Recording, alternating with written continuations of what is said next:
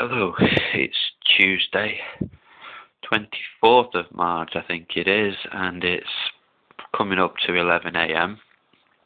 Uh,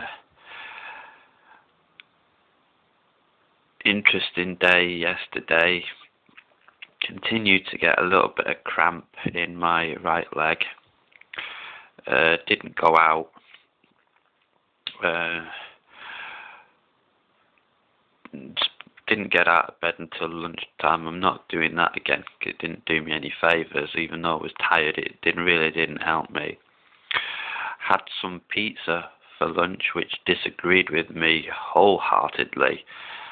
Uh, won't be doing that again.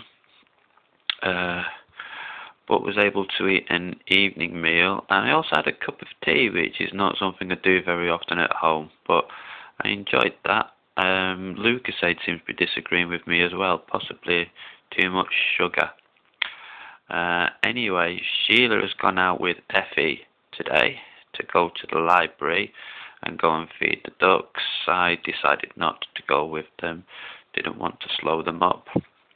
And I've done a little bit too much over the weekend, so need to curtail it in a little bit and stop my right leg from getting cramps because having numbness in one leg and cramps in the others is not a happy combination.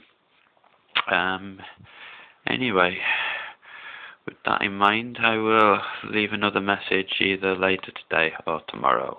Okay, cheers.